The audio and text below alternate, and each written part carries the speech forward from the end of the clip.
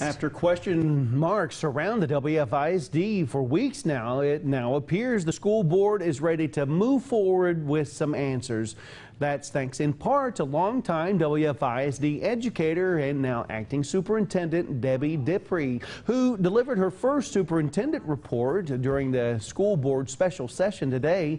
Dipree says the most important thing at any campus throughout the WFISD will be to put student needs first, adding that no decision for the district will be made without first thinking of how it will affect students and teachers as a self-described product of Wichita Falls, having graduated from the WFISD and Midwestern State, moving into this role could not mean more to Dipree.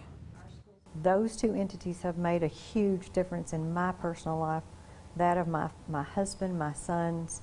Um, anything that I can do going forward that can, can assist or support the activities and the needs of, of Wichita Falls ISD and the community at large, I'm honored to do.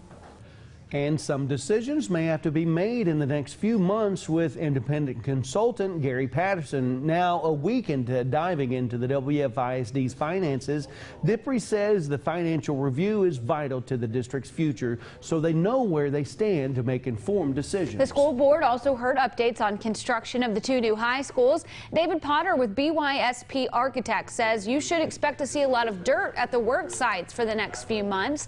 Meanwhile, they've been able to make some decisions like interior selections for things like carpet colors, walls, and tile. Potter also informed the school board that the full plans for both auditoriums have been greenlit, something that was up in the air previously due to funds, but is no longer a problem for the district.